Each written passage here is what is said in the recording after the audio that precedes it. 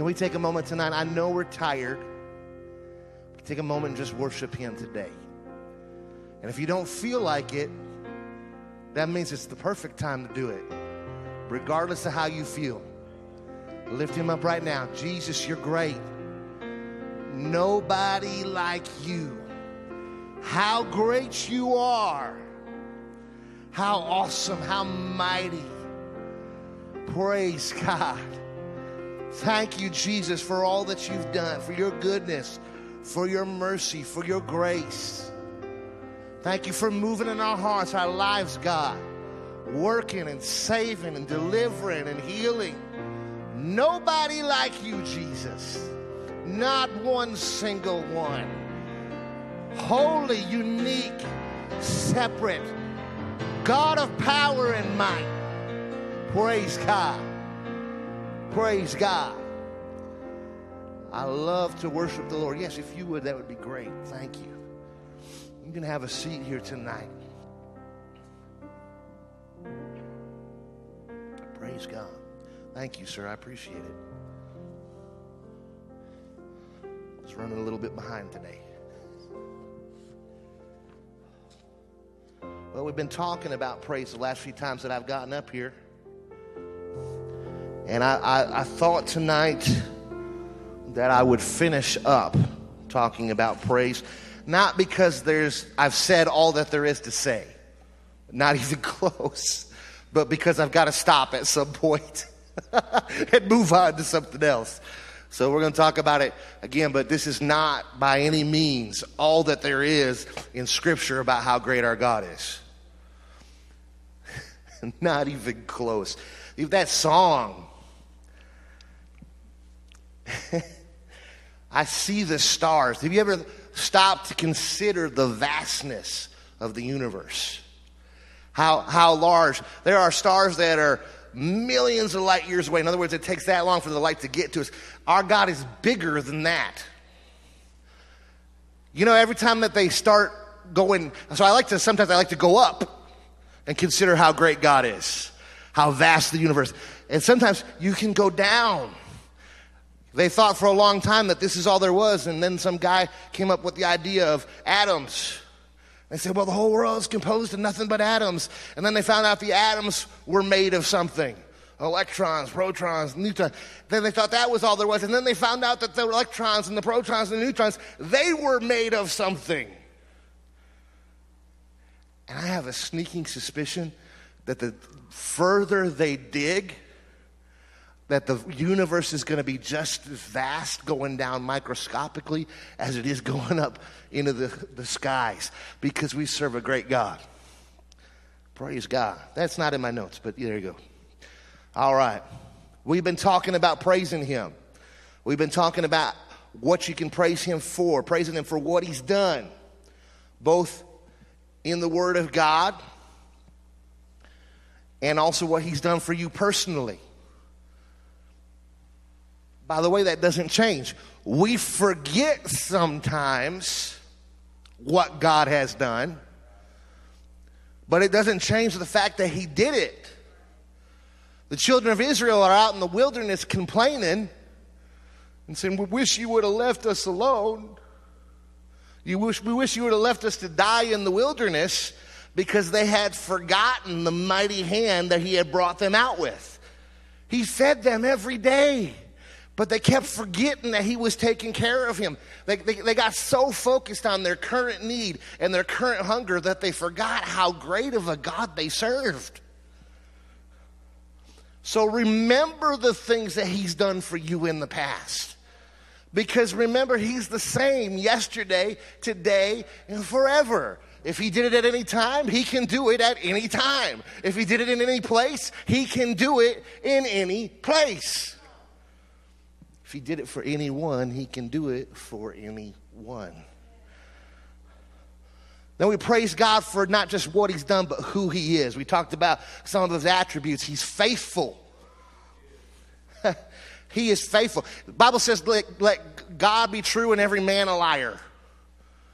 Because we, we struggle being faithful.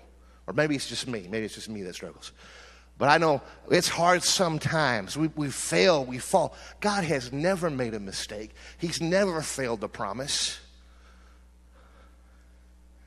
Not one single time. He told Abraham, Your children are going to have this land forever. And for 2,000 years, the nation of Israel did not exist. Well, God failed. No, God was just setting the stage. to me, that's one of the, the greatest, not only of God's faithfulness, but the, of the God, the truthfulness of the Word of God. Who could imagine that a nation that had been gone for almost 2,000 years would be revived and born again? There is not one single instance of that in history except for one, the nation of Israel. God is not just faithful, He's just. He's, you know what? That's actually, that is awesome and terrible. It's awesome because he's going to be just to those who have done you wrong. And terrible because unless you listen to him, he's going to be completely just and completely fair to you as well. We serve both an awesome and a terrible God. But God is not just just, He's also merciful. He said, This is the way. I have prepared a path for you. You can escape my justice. You can, you can, you can, there's a way for you to be cleansed and not have to face the terribleness that's going to happen to those that don't turn their hearts and lives over to God. He is holy, unique, separate. There is none like him. He is gracious. He is omnipotent. There is nothing he cannot do. He is omniscient. There is nothing he does not know. He's omnipresent everywhere at all times, and he is eternal, which is more than just he's been around for a long time. It means he exists at all times. We, we have no actual understanding. We can't even begin to grasp what that means. There, I've heard so many different examples, I'm not even going to go over any of them. We, we, can't, we can't wrap our minds around eternity, and yet that is integral to who God is. It's what He's always existed in. It, it, it's part of who He is. It'll be a part of who He is, and eventually it'll be a part of who we are when we enter eternity to be with Him. Then we started talking about the actual ways, uh, or actual, actual words to use when praising God. We got into the names of God, and we started going through some of the names in the Old Testament that the children of Israel used to worship the Lord. We talked about Jehovah Rapha, the Lord our healer, physical, emotional, spiritual. Sometimes he doesn't hear the physical because he's more concerned about the emotional and the spiritual. He could leave me hurting. Yeah, if that's what it took for you to have a whole mind and a whole soul. I don't like that preaching, Brother Tim. Okay, well, you take it up with him. Paul prayed several times. He said, Remove this thorn from my flesh, remove this cause of pain. And God looked, Paul, well, he didn't, I don't know if Jesus was physically in front of him, but bear with me for a second. He looked him in the eyes and said, no, not going to do it, Paul. Think about that for a moment. That one of the greatest missionaries that has ever graced the earth, he said, God, bring me healing. And God looked him in the eye and said, Not going to do it. Not. Being a downer, Brother Tim, I'm sorry.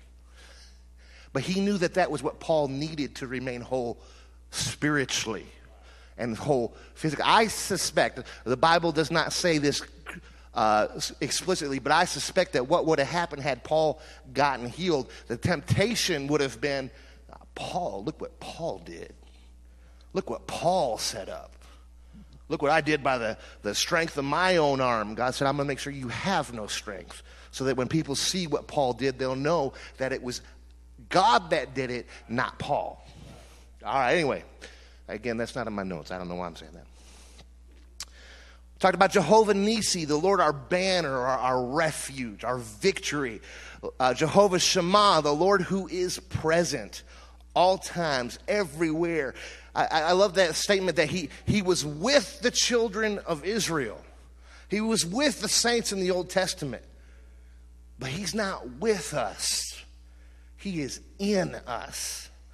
That's a whole order of magnitude greater. Jehovah Sidkenu. That one's just fun to say. Jehovah Sidkenu, the Lord our righteousness. The Bible says that our righteousness, what we do, is like filthy rags. And that's why he prepared the way. He said, Look, Brother Charlie, you're not going to get into heaven on your righteousness. But what I'm going to do is, I'm going to give you my righteousness. That's what's going to get you through the pearly gates, not what you've done. You could volunteer at every soup kitchen from here until eternity, and it would not be enough. But God said, you know what? We're, we're, what we're going to do is we're going to give you my righteousness. How about Jehovah Shalom? The Lord our peace, the peace that passes understanding.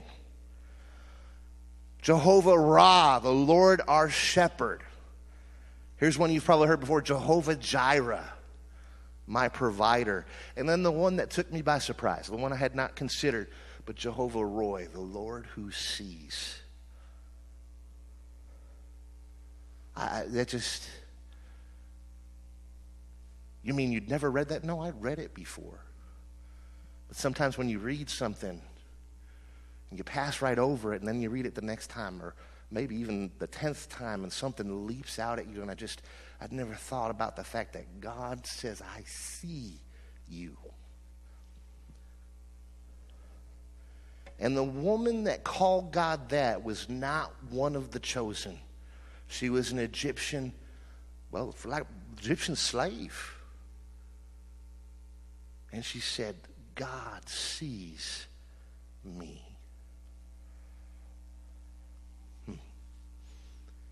He sees you. Maybe that doesn't mean anything to you, but it means something to me. He sees me. When I think I'm going through something all by myself, when I think no one knows how I feel, He is the God who sees. But there are many other ways to praise God, and I, I just want to kind of wanted to touch on some tonight. I like songs that, that begin to name his attributes. Uh, one of my, we don't sing it here probably because it's a, uh,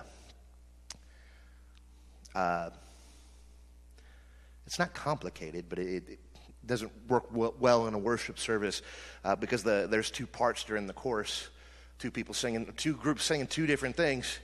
But it's just He is Lord. Uh, he is Lord of Lords. He's King of Kings, the mighty God, Lord of everything. I'm actually going to have to stop and sing it in my head because otherwise I'm not going to get it. Uh, he's Alpha, Omega, beginning and end. My Savior, Messiah, Redeemer, my friend. He's the living God. I'm, I'm totally off track. I'm sorry. I love the song. I sing it in my head all the time, and apparently it has just gone clean out. It's been a long day. But I love songs that they, they, they start to name who He is. Tammy, it doesn't change our problems. But when we start remembering who He is, it puts our problems in perspective.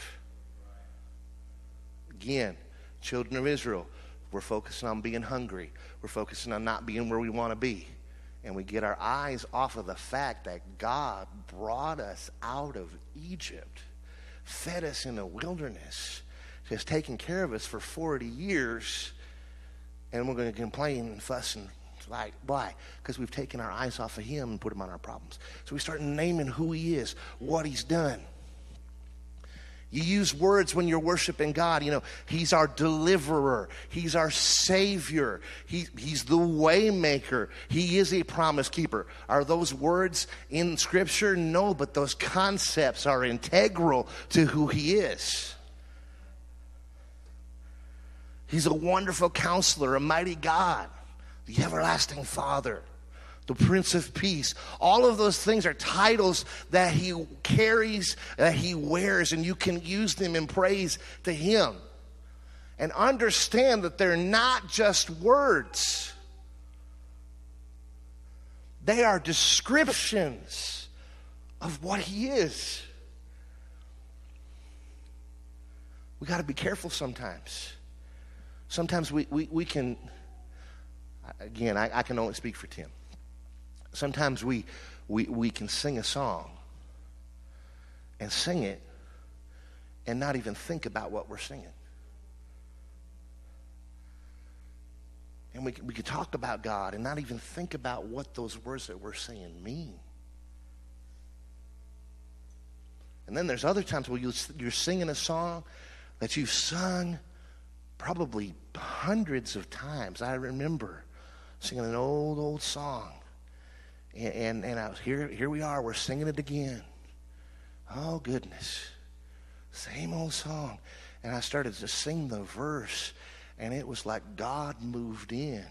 And he said, No, you haven't really considered what those words mean. And I started to weep as I sang it. A song I'd sung hundreds of times. Why? Because I started to think about what that actually meant. I started to think about what he'd done.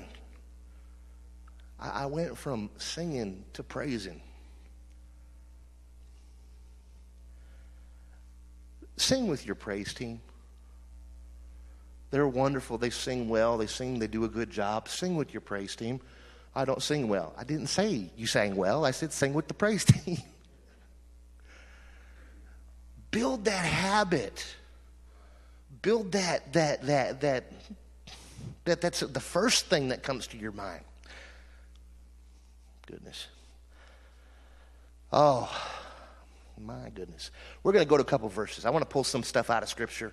We're going to, we're going to look at some words that come right out of the Bible and talk about them for a little bit. There are literally, you want to know what words to use in praise? Read your Bible. It's full of them. Best place for that is the book of Psalms. Tons of things in there, tons of descriptions that talk about our God that, that, that give him life, that give him depth, that give him breadth, that give him meaning. First place we're going to go is Psalms chapter 83, verse 11.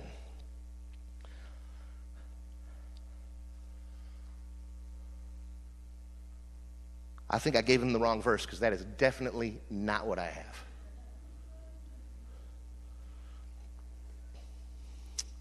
There's no telling. It's been a long day. Psalms 83. What I have here is for the Lord God is a sun and a shield. The Lord will give grace and glory. No good thing will he withhold from those who walk uprightly. Lord God is our sun and our shield. Now, we're used to shield. We've heard that before. But did you know it says that He is our sun? Now, does that mean that He is that flaming ball of gas that's a few million miles away? No, he, He's not that sun. But He is like that sun to us. Anybody remember your basic science class? What happens if we have no sun? Aaron, do you remember what happens if there's no sun? It's not time. Yeah. What's the temperature like at nighttime? Yeah, it gets real cold. You have no sun, it can get real cold all over all the time. God gives us warmth. He makes life possible. Life without the sun would be impossible. Life without God, it may not be impossible, but it's incredibly difficult. But He is our sun. He is the source of our life. He is the source of light. You ever thought about that before? Anybody, uh, anybody uh, rush to the window when they get up to make sure the sun has come up? Are you really worried about that? Oh, goodness. Is the sun going to come up today? No, because it's faithful. Just like our God. You can count on it, it's going to be there. God is like that. I could go all over the place with this. You know, the moon doesn't have any light of its own, it just reflects the light of the sun. Like us. People ever tell you you radiate something? You're not radiating of yourself. You're radiating the love of God. God's grace, God's glory, God's light, God's warmth, God's love should shine off. You should reflect that back to Him. That's totally not in here. All right. Not only is He our sun, He's also our shield. And you will see that all throughout scriptures, all over the Psalms. Sometimes uh, you'll have a translation, it may not say shield, it may say something like buckler. That's just really another word for a shield. Uh, well, a, if we want to get technical, it's usually a smaller shield, but anyway. Point is, is it something you use to defend yourself with? Sometimes it skips all that imagery and just says, He's my defense. Is God your defense? You know, if God's your defense, you got a pretty good defense. We don't like to use God as our defense because He doesn't do things in our time. I'm kind of afraid to ask Him to put up a verse now because I'm not sure if maybe I got others of these wrong. It's not His fault, by the way. I gave Him to these very late in the day. He's my protection from attack. I was thinking about this when I was talking about shields. You know, Ephesians chapter 6, verse 16 talks about another shield. Above all, taking the shield of faith with which you'll be able to quench all the fiery darts of the wicked one. You ever think about that? Psalm says that he is our shield. Then Paul talks about the shield of faith. Is there a link? Well, there is a link. You, because that faith is a faith not in some vague thing. Our faith is in a specific thing, our God. That faith, that shield of faith that Paul's talking about, he's not talking about having faith in faith. Faith in faith will dis- disappoint you. Faith in faith won't work. But if you have faith in God, that will protect you. You cling to that, there, there ain't nothing. Why do you think Job could sit there having lost everything he had and say, Though he slay me, yet will I trust him? Why do you think he could sit there and say, Naked I came into this world, naked I go through, the Lord giveth, the Lord taketh away. Blessed be the name of the Lord. Circumstances are bad at that moment, but Job said, Sling all you want at me. I am, fa- my God is faithful to me, and I am faithful to him. Sling all the darts, all the arrows, all the trials you want. I have faith in my God. What can they do with that? What can the enemy do with that? He can't do anything. When you get the, the, the, the, the test results and they don't tell you what you want to hear, have faith in God. I don't know the end result of this, but I do know one thing my God is in control. The devil can't get around that. Does that mean you'll never be shaken? No. Everybody in here is a human being, right? Apparently, I'm just the only one. All right. You'll be shaken, but you hang on to that faith. God will bring you through. God will bring you through. Here's another one, uh, Proverbs 18:10. Proverbs has some things to talk about when it comes to praising the Lord. The name of the Lord is a strong tower. The righteous run into it or run to it and are safe. I think there's a song in that somewhere. I like songs that come right out of the Bible. The oldest fortifications in the world were towers. Before there were walled cities, they were building towers. Before there were castles, there were just towers. Why? Because with a tower, you could get up there and you could see a long way out. You could spot the enemy before he ever got to where you were at. It was a place of safety, a place of defense. It's wall shelter from attack. It's, it's height. They say that a fortification, that a, a, a, force of men defending a fortress or a tower can beat off an army 10 to 20 times its size. That's how our God is to us. He's our strong tower. When everything assails us, we run to Him.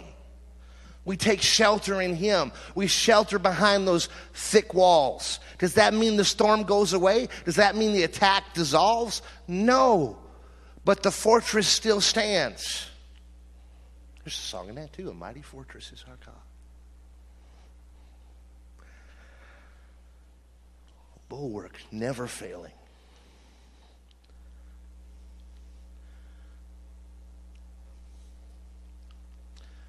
Psalm 62 and 7. In God is my salvation and my glory. The rock of my strength and my refuge is in God. Several words there. I wanted to focus on my refuge. Now, in today's day and age, when we, when we uh, think of refuge, sometimes we think of refugees, and that is not a positive picture to us.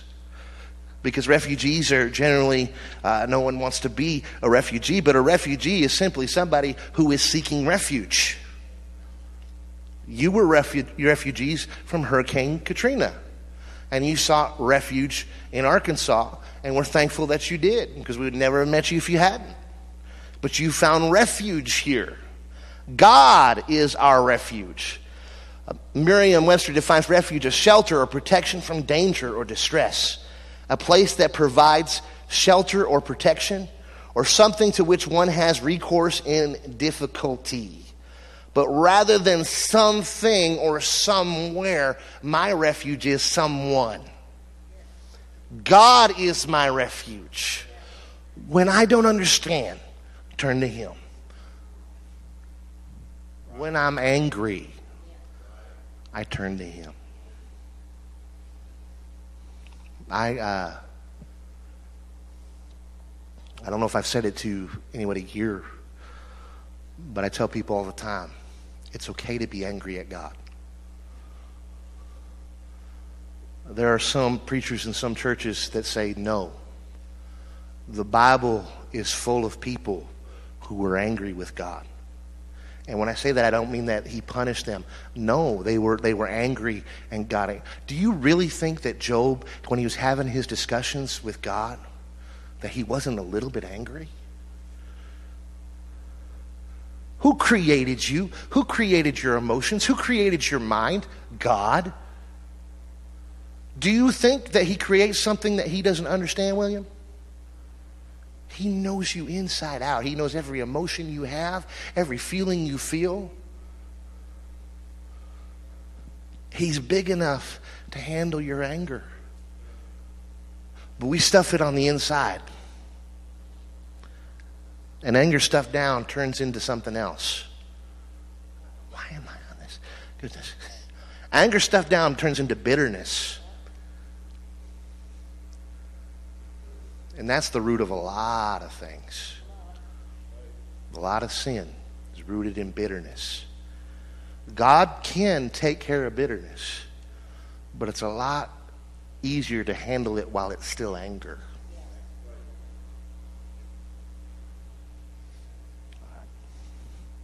But He's your refuge. You run to Him, you turn to Him, you go to Him. When you're overwhelmed, Lead when my heart is overwhelmed. Lead oh. lead me to the rock that is higher than I.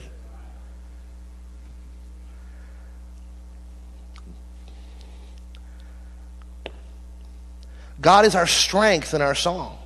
That's what Exodus chapter 15 and verse 2 says.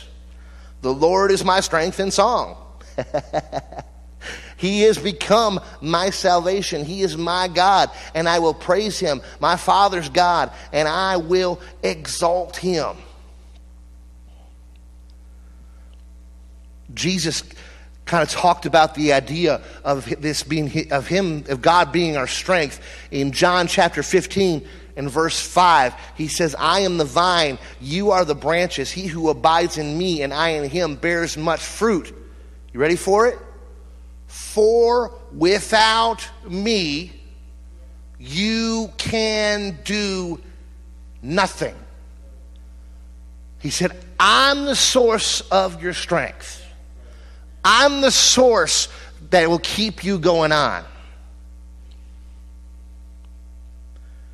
When I'm at my wits' end and I'm at my, my, my, final, my final last ounce of strength, you know what I usually discover is that I have been coming in my own strength. And when I turn to Him, He's got boundless reserves of strength. So many of these concepts are, are intertwined, are, are, are, are, are, tied together. Because He's my strength, that is why He's my peace. Do I have strength to face horrible things? Frankly, no but my God does. And because my God has the strength to help me face the horrible things, I can have peace in the face of horrible things that other people can't understand because God is my strength. The joy of the Lord is my strength. I was thinking about this today. It says He's my strength. It also says He's, he's my song. We don't just sing songs about Him, He is our song, our source of joy.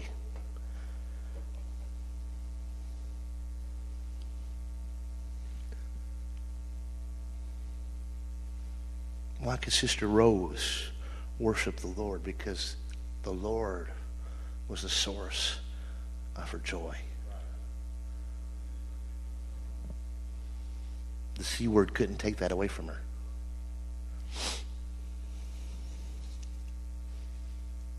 You'll go through scripture, you'll find ideas, you'll find things like that, words, expressions to use. If you don't know how to worship the Lord, read your Bible. And then there are some that once you start looking, you start pulling on the strings, and they go from being just simple to being rich. I've already mentioned one one of the things that the Word of God consistently refers to God as.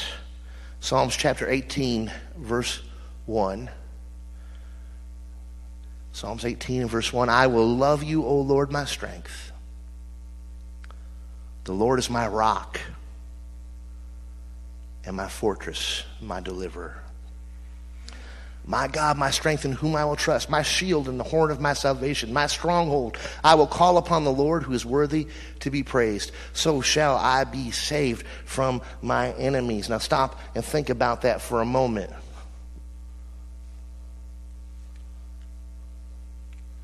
He's my rock. Okay. Sounds simple enough. But start tugging on that string a little bit. Start tugging on that idea. Here in the verse that we just read, he's talking about, he's linking that again with strength, with fortress, with protection. What do they build castles on? They build castles on rocks. What do they build your house on? They build it on a firm foundation. They're building a skyscraper. They dig until they hit what? bedrock. Why? Because it needs a firm foundation. So inside that idea of a rock is also the idea of having a firm foundation. Well, what does a foundation mean to me? Well, when the tower is on fire, do you go to closer to the foundation or further away from it? Do you climb to the top of the skyscraper? Or do you go to the bottom floor closer to the foundation? You run to where the foundation is at. Oh, here, here, this is a better idea for Arkansas. I forgot where I'm at. When the tornado comes through, do you climb up on the roof or do you go into the basement closer to the foundation? or the storm cellar, but you go down, you find, you find that rock, you find that foundation. You know what, though? Isaiah chapter 28 16. Therefore, thus says the Lord God Behold, I lay in Zion a stone for a foundation, a tried stone, a precious cornerstone, a sure foundation. Whoever believes will not act hastily. So, God is speaking through Isaiah. And he says, There's a, there's a stone, there's a cornerstone. Got any builders? I know we have some builders. Cornerstone now? Okay. You know what a cornerstone is then. God's talking about a precious cornerstone. Who's he talking about? A rock. Luke chapter 20, 17. Jesus looked at them and said, When then is this that is written? The stone which the builders rejected has become the chief cornerstone. Whoever falls on that stone will be broken, but on whomever it falls will be, I will grind him into powder. It will grind him into powder. Jesus is that sure foundation. Jesus is that precious cornerstone. Jesus is that rock. But you know what? I started digging some more. because there's something else. This, this is something, Aaron, you ready for it? This is something incredible. Because the rock is not just your foundation, it's not just your strength. But see, when they were wandering around a desert place and they got a little thirsty, I guess they had forgotten to bring their canteens or they'd run out of water. And in Exodus chapter 17, verse 5, the Lord said to Moses, Go on before the people and take with you some of the elders of Israel. Also, take in your hand your rod with which you struck the river, and go. And behold, I will stand before you there on the rock in Horeb, and you shall strike the rock, and water will come out of it, that my people may drink. And Moses did so in the sight of the elders of Israel, and water flowed out of a rock.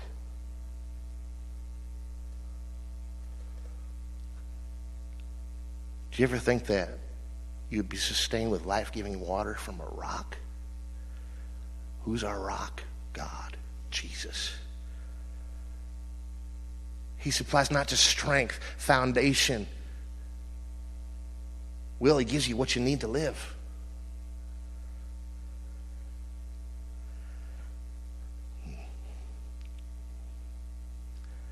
I started digging even more. Paul says in 1 Corinthians chapter 10, let's make it even more plain.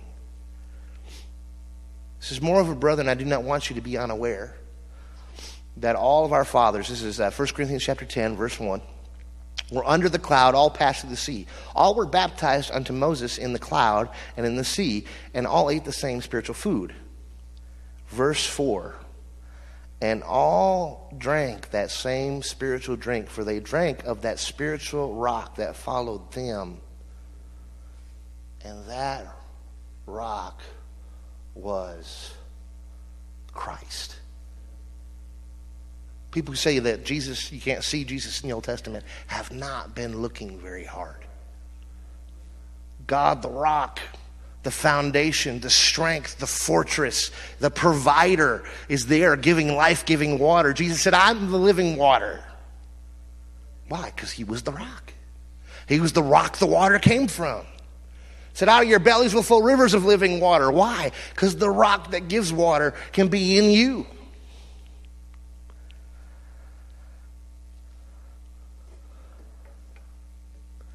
One more. I'm sorry, like I said, I started digging on the rock, and that's where it came to an end.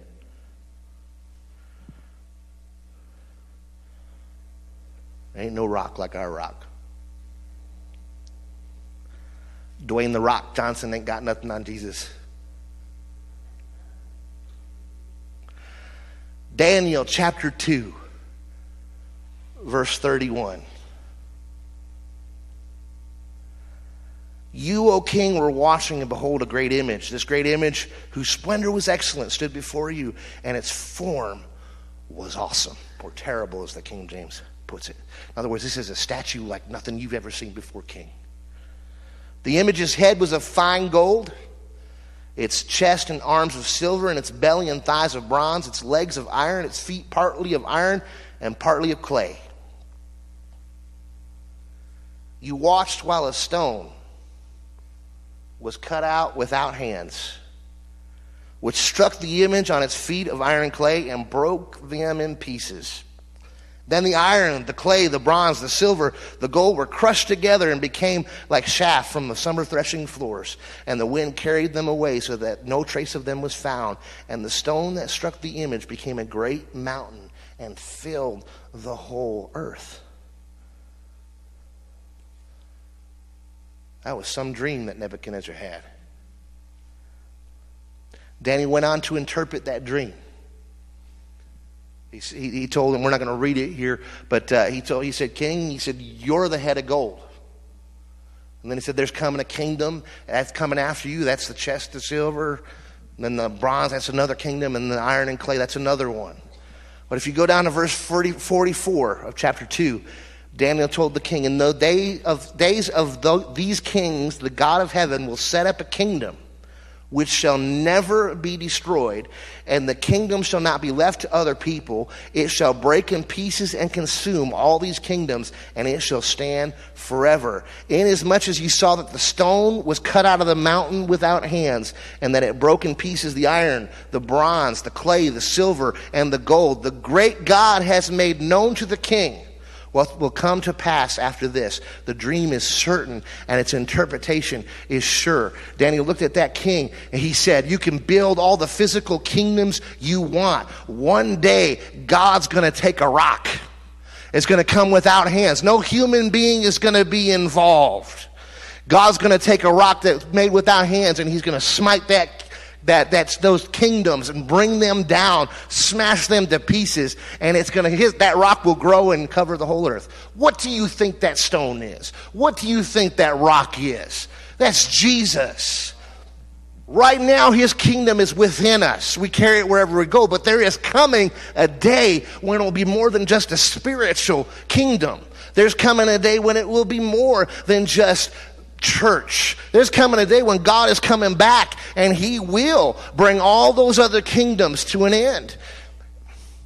You could say even that right now, right now, God's kingdom has spread throughout the world. There are very few groups of people who have not heard about Jesus. There are whole societies dedicated to make sure that every language has the Word of God in its own language. What's happening? That rock, that stone, that mountain is growing. Nothing can stop it. Like I said, I started pulling on the idea of that rock, and it just kept getting big. I could probably go on, but it's late.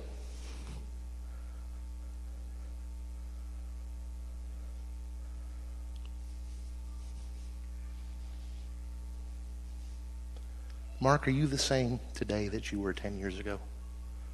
No? You were a lot thinner. I wish I could say that. there was one, uh, one artist that wrote a song, and he said, The only thing that stays the same is that everything changes. So that's the only thing that stays the same. Hang around long enough, things are going to change. There's one thing that doesn't change. Same yesterday, today, and forever. If he was faithful to you in your childhood, that rock will be faithful to you now.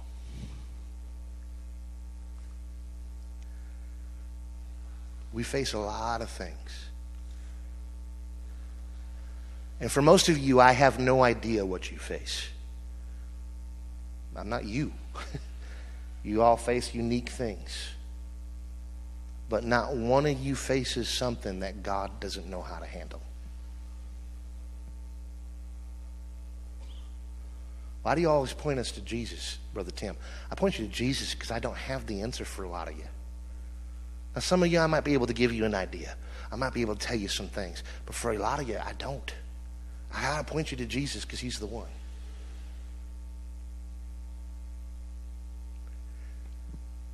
God can be your rock. He can be your fortress. He can be your salvation. He can be your strength. He can be your deliverer.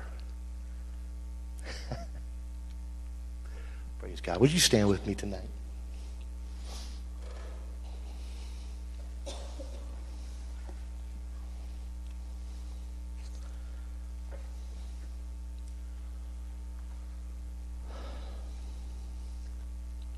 Everything that we've talked about since the start of this is completely meaningless unless you do one thing you praise. That will look different from you for you than it does for me. You're not me. But what you do need to do is exercise and praise Him. Maybe for you it's not a song. That's fine. That's fine. Uh, one of the things that they talked about in uh, Psalms was boasting on the Lord. Talk about His greatness. Talk about His. Talk to yourself about His greatness. Demonstrate, chase, chase after Him, but put into action these things. If you come in here and you sit down and you say, That was great, now I'm going to go home and live exactly the same way, you've missed it. Put into action the things you hear, not just things you hear from me. Put into action the things you hear from Brother B. Put into the actions things you hear from Pastor. Put into action the things you hear from any man of God. Put them into action. I've told you while we've been talking about praise, I've told you over and over again, I am not telling you how to praise. I'm just telling you that you need to praise. And I'm trying to show you ways that you can praise and things you can use to praise. But I can't praise for you. Can't do it. I don't feel like praising. I get it. I've been there. I have been there when the last place I wanted to be was with a microphone in my hand singing a song.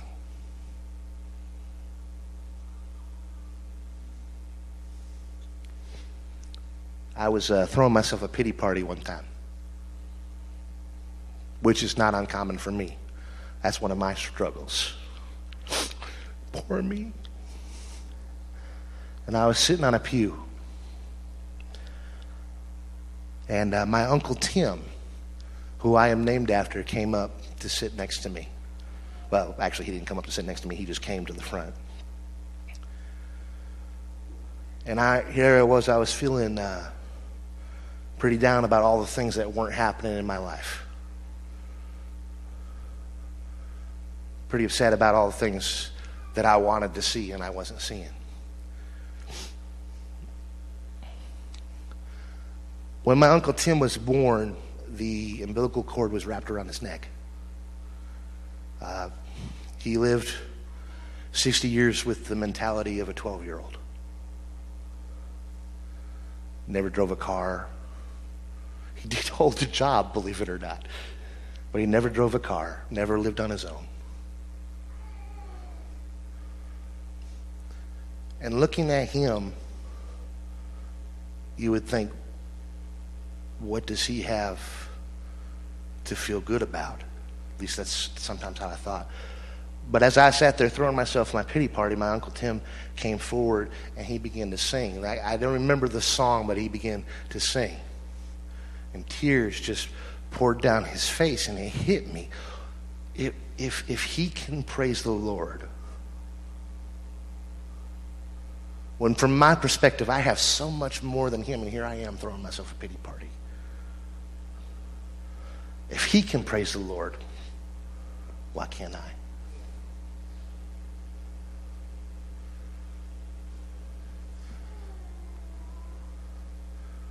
God has given you many things, whether you realize it or not. Praise the Lord. Let's bow our heads. Lord Jesus, you see all these people here tonight, Lord God. I'm asking you, Jesus, give us opportunities to praise you throughout the remainder of this week. Give us opportunities to exalt you, to lift you up. Whether it be uh, through singing, Lord God, or just boasting about you, Lord Jesus, or telling other people about your greatness, or just talking to ourselves about how good and how great you are. Give us the courage, Lord God, to praise you when we don't feel like it, God. To praise you when the last thing we want to do is raise our hands or lift our voice, God. Help us to praise you, Jesus, when we would rather be throwing stones. Help us to exalt you, lift you up, magnify your name. Show us your glory, God. Show us your power, Jesus. Hold nothing back, God. Hold nothing back on our account, but move in all your greatness and all your goodness. I see you, Lord Jesus, everywhere I look, and I know that you are in the lives of every single person in this room, God. Make yourself evident, Jesus. Open our eyes to see your greatness. Open our eyes to see your goodness, God. Give us cause to worship and to exalt your name, to praise you, to lift you up, to glorify you. Give you glory. I will give you honor. I want to give you praise. In Jesus' name, amen. God bless you. Praise the Lord.